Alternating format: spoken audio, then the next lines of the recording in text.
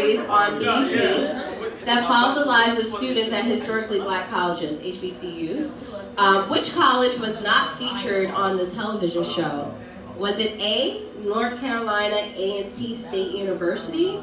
Was it B, Virginia State University? Was it C, Langston University?